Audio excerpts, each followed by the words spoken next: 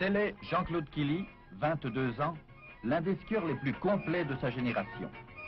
Mais quand il ne court pas quand les compétitions enfin sont terminées, il lui arrive de skier pour le plaisir, pour son plaisir et aussi pour le nôtre.